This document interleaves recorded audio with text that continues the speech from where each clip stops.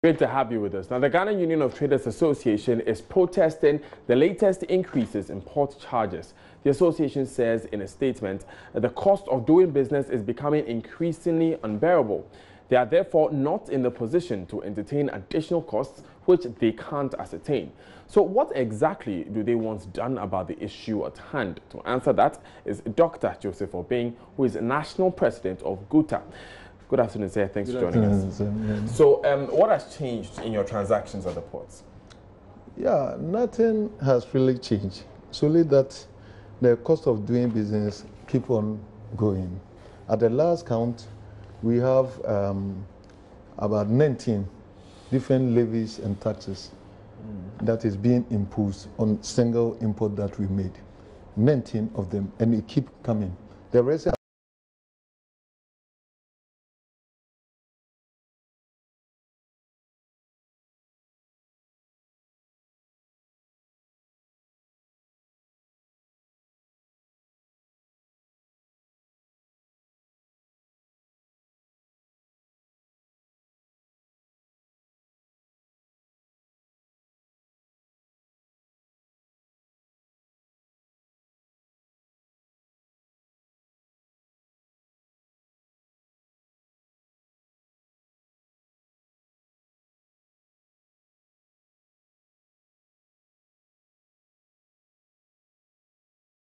Now, what has even increased or doubled the duty payment is the common external tariff that has been um, introduced. For instance, electrical electrical product that used to be 10% now is 20%, so duty has doubled. Um, tomatoes, tin tomatoes and biscuits and other things that used to be around 15 to 20% have gone to 35%. Mm. What it means is that if you pay 20%, um, as um, your duty, mm -hmm. then 17.5% of um, VAT is slapped on it. Mm -hmm. Cumulatively, it's about 40% mm. because they slap the 20% on your um, cost before they slap the 17.5. So cumulatively, 40%. Then the additional 19 or so that I'm talking about is slapped on it. So um, you have to fund 50 plus percent of your importing capital. So if you used 100,000 to import your goods, it means that you have to go and fund about $55,000 to go and pay for these levies and taxes. Mm. And it's too much, it's so outrageous. Mm. And that um, we think something needs to be done. Otherwise, um, the uh, great majority of this will just opt out. And uh, only yesterday, um, the electrical dealers wanted even to stop clearing their goods because um, goods that we, they were paying around um, 60,000 to 90, between 60 and 90,000, depending on the quantum of goods okay. in the container, have now gone to about 300,000. So you're talking about an increase in yeah. the port charges. Since yeah. when did you notice this increase? Yeah, uh, th this, uh, this have been there. Okay. But for instance, um, AU levy will come and then we add it. Okay. And then now, if you've heard of fumigation, mm. um, levy mm. is also coming on board. So mm. when is going to be the cutoff point? Okay. So you said that you will opt out. Some people are saying they won't clear their goods anymore. What does yeah, that mean? Yeah, because they can't simply clear. If you look at the cost, customs should, um, we have what is trans transactional value. Mm. That's what first and foremost uh, casting use. Mm. If casting have any doubt, they have to use the permutation value. The permutation value means that they have to go to the market to see in um, reality how much the, the product is being sold. The, if these things are not taken to uh, consideration and then somebody uses um, his discretion to give an appracious value that go and pay this, you bring the product you can't sell and you'll be at a loss.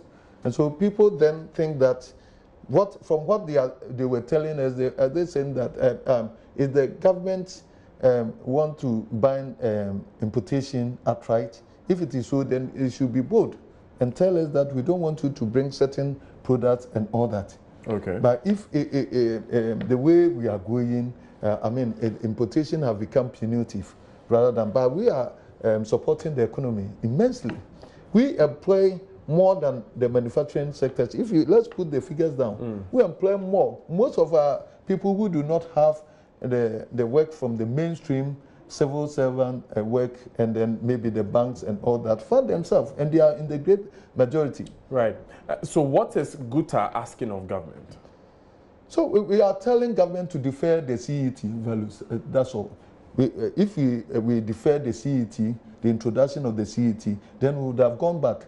You see that from last year, people have been complaining duties are going up. Right. And sometimes when you do that, they say that it's because they, now they are putting some measures in place and it's exposing that that's not true. The truth of the matter is that duties have actually been increased because of the CET. When the, and by CET, you mean the common external, common external tariff. tariff. Uh, so we, that the ECOWAS, ECOWAS value. We, so what would deferring it mean? Uh, defer means that now your people can clear. Your people, because it is for the ECOWAS sub-region, and we know, our investigation know that not all the countries have slapped on their citizenry. So why should it be us? It's something that is coming for the sub-region, and Ghana can put up an argument, and then, well, um, it has a, a, serious crisis at hand. And now, uh, for what is going on, uh, the importation is in crisis. People, so many people have started saying, we can't clear, we can't clear, and it's not a joke. Mm. And if care is not taken, your very economy will come down, the fundamentals of your economy. Don't, don't, don't forget that importation is helping the economy itself. So uh, help me to understand yeah. this. If this common external tariff is not deferred, yeah. GUTA will not clear their goods. No, it's a natural sequence. Mm. People might not be in a position to clear their goods, mm. and naturally they will stop working, and then um, uh, people's businesses are collapsing. Okay. It's a natural sequence. GUTA per se is not going to tell anybody to stop importation. But if the circumstances are such that you cannot operate, so it means that the system has collapsed um, um, the businesses. That's what we're saying. The government, right. I know, had good intentions for the importing community, mm. and that's why we are calling on government to sit down with stakeholders so that we know we put the proper benchmarks and all that mm. so that um, government can have its with. Okay. But you know, um, sometimes they think that when they slap the bigger um, duties, they are doing themselves uh, good. No. When they do that, they are trying to um, um, uh, uh, push people into criminal things like uh, smuggling and all that. And then when people also stop importation too, then you see the great number of us are not importing. Then customs are not also getting their targets. But if you okay. make it user friendly, the, uh, we can comply. The compliance level is high. And the citizenry will have their worth because the, the goods will be cheaper for them. People then can also go and freely declare their values, their real values, and all that. Business will boom. So and have then also forget, I will mm. forget that in all these things, we are being opted out of the West African business. We have about 350 markets in the, this uh, West African sub-region, and only Ghana is losing out. You hear our mothers saying we are going to Togo to buy goods. They say they are going to Benin to buy goods. They go to Nigeria to buy goods because of these cost differences. Mm. And so we are uh, being altered out. If business is booming, otherwise these people are also bringing in the hard currencies. Because when we go, we change the currencies to these um, destinations. And now if we, we, we have structured the economy so that it is also attractive for all these sub-regions to come here. They will bring in the uh, limited resources right. rather than us taking it. So if you look at it in a comprehensive manner, and then they will not skew their man only towards um, increasing the duty. Uh, this, is not, uh, it's not good. If you do all okay. the cost benefit analysis, it's not helping everybody, including the government himself. Mm. So we have to sit down. Right. So um, have you engaged government, and what have they been saying? We, we've done it so many times, and uh, to tell the truth, we've been doing this with the um, Ghana Revenue um, Authority, the Commissioner General himself some of these things they also understand. We talk with the customs and all that, but you know that they are uh, implementers. And then, uh, much as the, their good, uh, good intentions are, unless the, um, the policymakers um, the ministry have, and, uh, yes, and, and that's why because come. they are going to take the decision that um, we are deferring the CET because the is the pain. The so CET, have you engaged the government? We've I talked. Mean, we've talked before, and now we are also um, going to go to them again because now the complaints are getting many people wanting to even um, uh, uh, hit the streets and demonstrate and all that. But we told them yesterday we have to convey all the electrical dealers and send them to customs, and then they, they gave us some comfort that we should bring our proposals and all that. It is a good beginning, but they, are, they, are, they have their limitation. Mm. The bulk of it is for government to engage us, understand what we actually mean, and they should trust it, much as we also want to trust government. When this trust come, I think Ghana will be the uh, beneficiary. Thank you very much, Dr. Joseph. Thank you, my boss. He is the president of the Ghana Union of Traders Association, GUTA. Now, let's stay within the business sector because workers of Jaimai Communications, the company belonging to the deported Indian businessman Ashok Sivaram, have given government a one-week ultimatum to allow Mr. Sivaram to return to Ghana or face their wrath. Mr. Sivaram was on Sunday, March 11, arrested and deported by officers of the Ghana Immigration Service. It follows a Supreme Court ruling quashing a High Court decision ordering the restoration of his residence and work permit. The court held that he should have petitioned the Interior Minister before rushing to court. He has since sent that petition, but even before a response comes from the minister, his workers are unhappy and are staging a protest. Joy News' Hannah Odame joined the workers and filed this report. So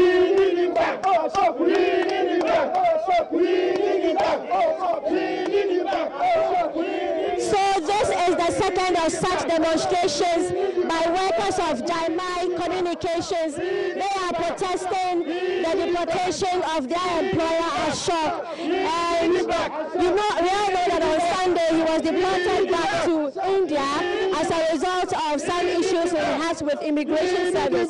I'll talk to Richard, who is the uh, deputy administrator, to tell us why they keep demonstrating.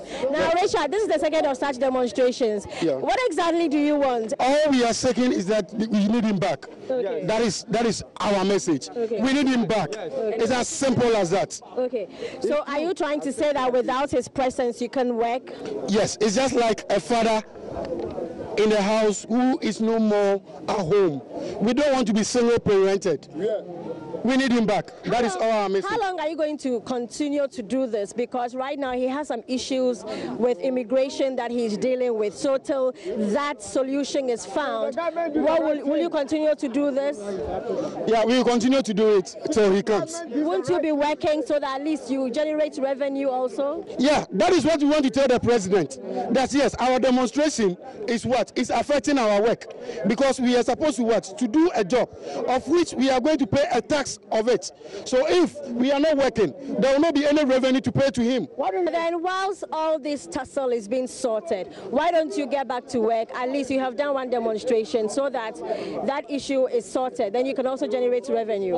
So when is it coming? When he comes, we will get more jobs.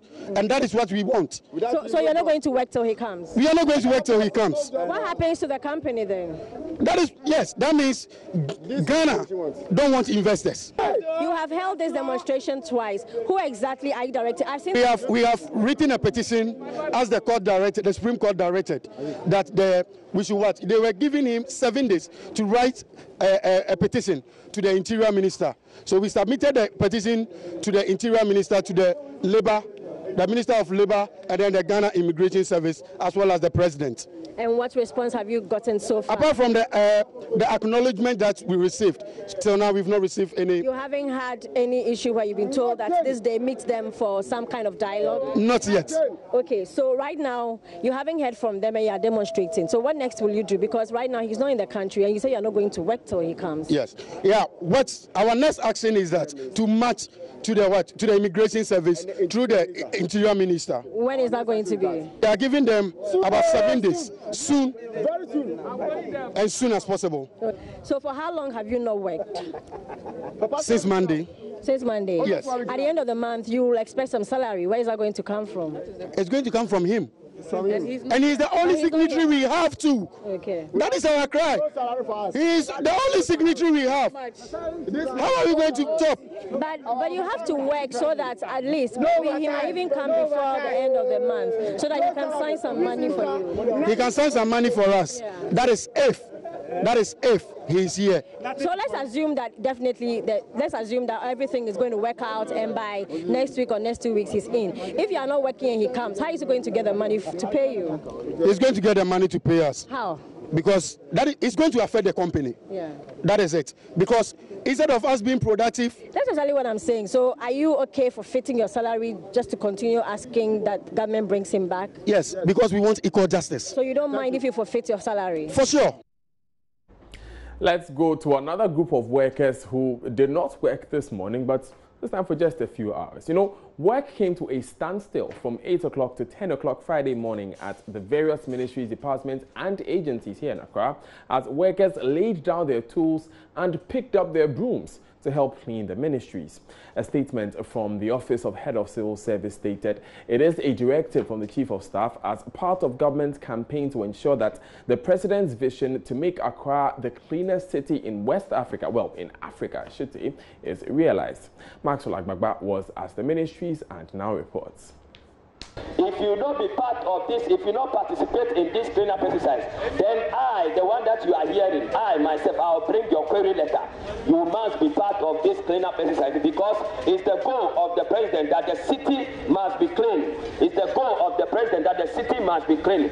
We are currently here at the Ministry of Health. Um, this vehicle from the Information Services Department is reminding workers here um, at the ministries to come out between the hours of 8 o'clock to 10 o'clock to help clean uh, the ministries. Uh, and that's a directive from the Office of the Chief of Staff, we are told. And already the workers here from the Ministry of Health are going about this duty. Yes, our ministry's role would be to create more awareness among the public about uh, how cleanliness relates to health. You know, there's a direct relationship between cleanliness and health.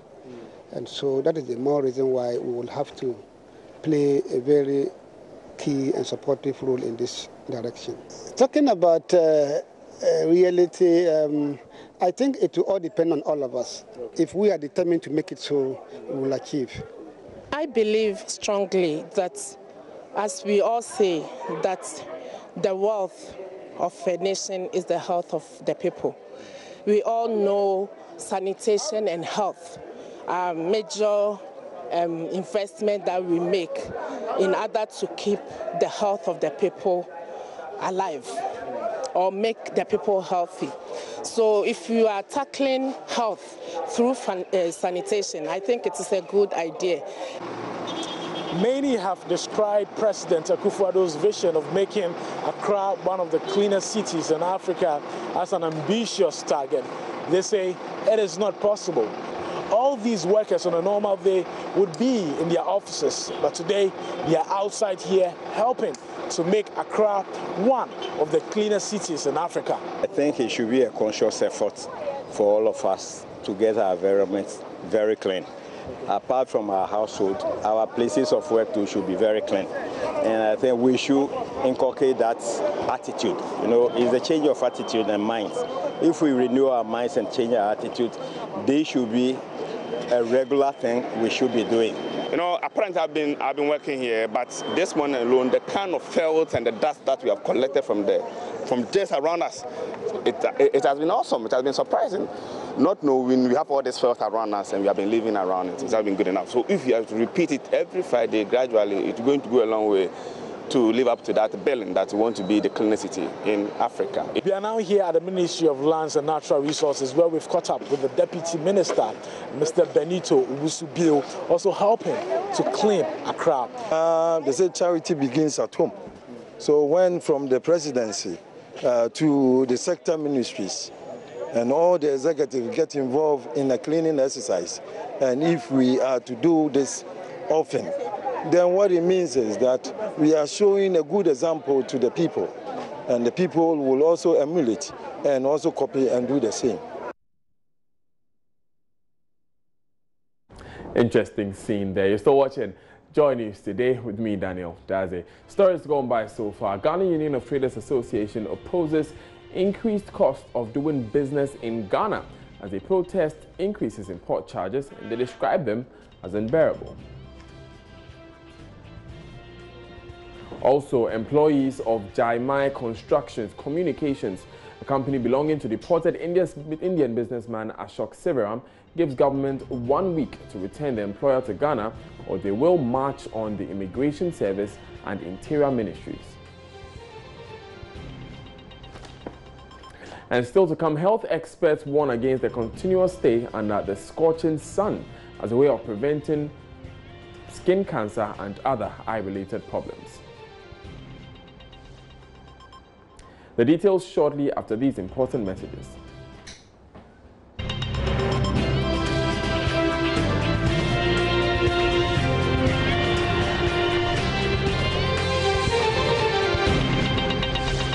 Thanks for staying with us. Now, the National Health Insurance Authority in the Upper East region is engaging stakeholders to discuss government's proposal to introduce health taxes as a way of raising mobilizing funds to uh, sustain the scheme.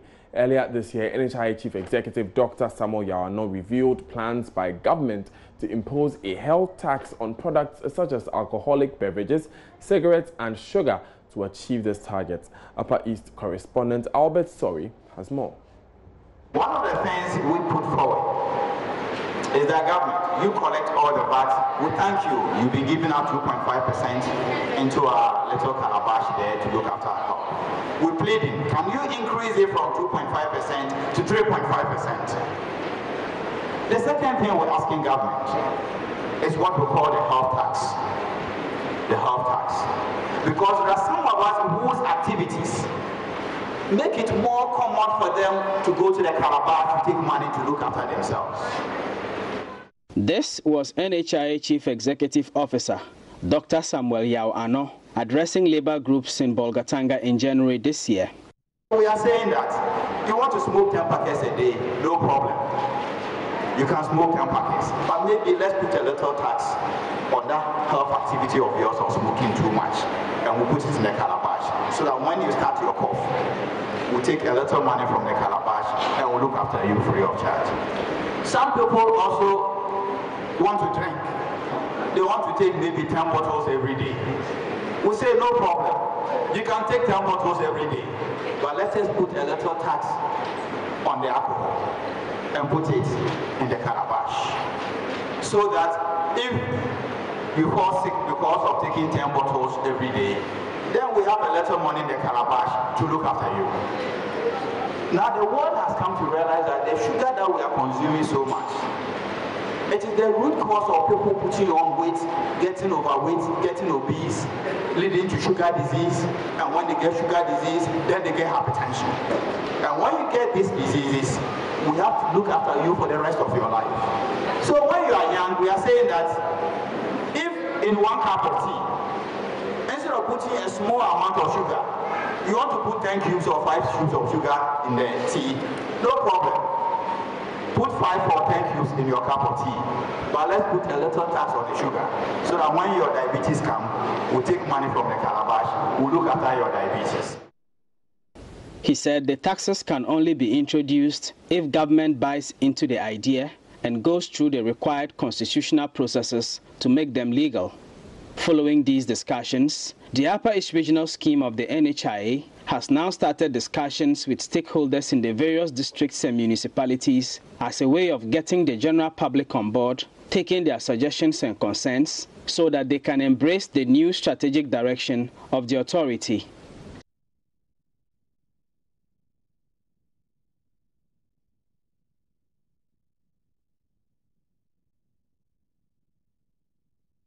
Let's keep talking about our health because you may have noticed how much the sun scorches these days. Health experts warn continuous stay in sunlight has a negative effect on our health. Hannah Odame of our health desk has more in the following report. Out on an assignment and my shoes need change. My crew and I are close by the Tema station here in Accra, and so we move in there to find a replacement. Well, five minutes after negotiating with the trader, Papa Kwesi, I simply can't stand the heat of the sun. So I asked him how he manages to sell with the sun virtually in his face all day long. Uh, the sun is hot, but you have to sell because of you have two you have children in the house. If you don't sell, how you manage to eat with your family? Huh. Yeah. How about getting a kind of shade to cover you so that you don't feel the direct impact of the sun? Uh, here is a station, so you can't get anything to cover you because very soon the car will move and different car will come. So if car is coming to move, you have to pull your this thing is you understand so, so day in day out you're under the sun you are in the sun every day does it have any impact on you Okay, me, I don't have any effect. Well, it appears he's not the only one. AC, who sells deodorant spray, says she's unable to sell as she used to because of the blistering heat. Wiana no ɔden nti ɛsa yɛ so yɛntumi mfa mu nyɛ market no. Saa me market ntumi nkɔ papa. Sɛ mentumi mfa so no. Makɔtɔn nti gye sɛ mekɔgyina enwinum ɛkɔgye mframa kakra For Amina, the iced water seller, business must go on, however. So she resorts to medication when she falls ill due to the impact of the sun. This practice, according to Dr. Dennis Botte, is dangerous as the side effects is likely to lead to long term health implications. But at this point, they don't see the effect, but give them 20, 30 years. That is when you feel the effects of things that you have been exposed to decades ago.